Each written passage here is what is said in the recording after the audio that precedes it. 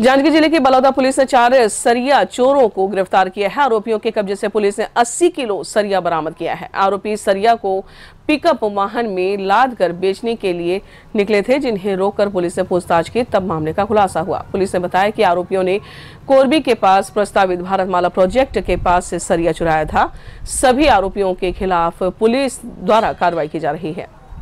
Bharatmala road के पास से सरिया की चोरी करने वाले चार आरोपियों को बोलेरो पिकअप वाहन के सहित विधिवत गिरफ़्तार किया गया है, जिसमें से सुमित जांगड़े, नीलेश जांगड़े गुलशन कुमार जांगड़े एवं भूषण कुमार जांगड़े, चारों निवासी कोरबी जिनके पास से चौदह लाख सरिया एवं अपराध घटित करने में, चोरी करने में प्रयुक्त वाहन पिकअप को विधिवत जब्ती कर, विधिवत धारा इकचालीस एक चार जाप को तीन सौ उन्यासी भादवी के तहत विधिवत गिरफ़्तार किया गया है, जिसे शीघ्रता शीघ्र मान्य न्यायालय में पेश किया